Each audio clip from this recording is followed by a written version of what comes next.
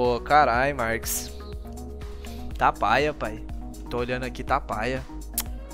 Fala, Lord Fax, boa tarde, tio. Vamos lá, velho. Deixa eu puxar o extrato do guerreiro. Meu amigo. Meu amigo. Ó, oh, opa! Opa, opa, gostei. Uai, Marx. Por que, que você não tá lançando mais o Fidozão, Marx? Ah, o Henrique tá paia, né? Ah, não, é, o Fido ele tá ruim e bom mesmo. Não, calma, calma, deixa eu descer mais. Calma aí, calma aí, calma aí. Ah, entendi, velho. Ô, Marcos, não, não, não, pera aí, não entendi não. Marcos, eu acho, creio eu, Marcos, que você foi lançar o Fidozão por conta minha, né? Eu acho, porque você é viewer nosso aí, subzão. É que eu perdi muitas de Fido aprendendo. É, bota fé, mas, tipo, Marcos, você já lançou, você já começou errado, mano. Você fez o Fido com a runa... Ah, não, foi só um game que você fez a runa errada, né?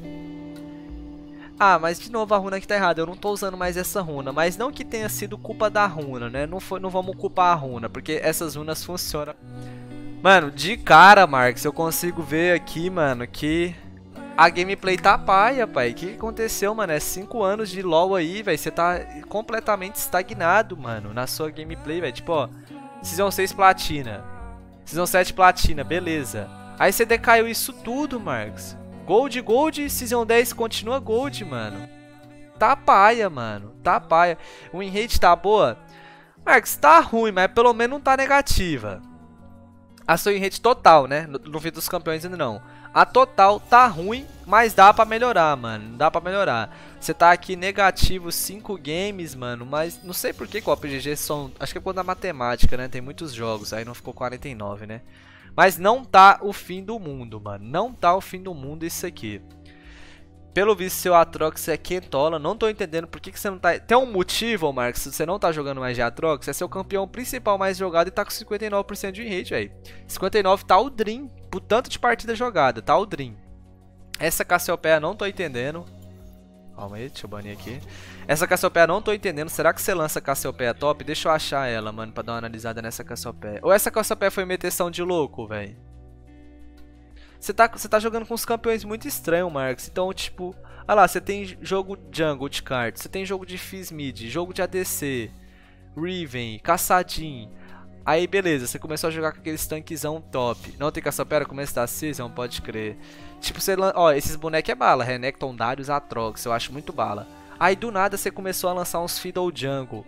Você tem que se encontrar primeiro aí, Marcos. Você tem que descobrir qual que é a lane que você realmente quer jogar. Marcos, se eu for te perguntar a sua lane principal agora, você consegue me responder?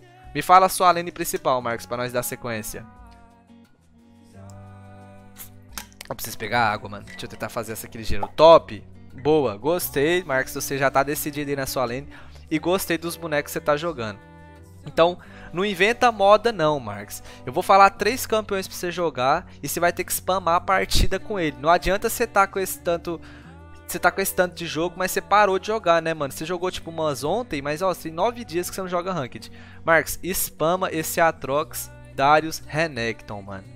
O seu Darius aqui tá, o crime perdeu várias seguidas, mas eu acho que dá pra você dar um foco pra ele, porque ele é o que tá com a rate mais alta. O Renekton é mais garantido, né, mano? O Renekton é um campeão que que tipo ganha quase todas as matchups do top. Tanto que quando eu jogo com o Dudu, o Dudu sempre bane Renekton. Ele fala que ele não consegue ganhar de Renekton.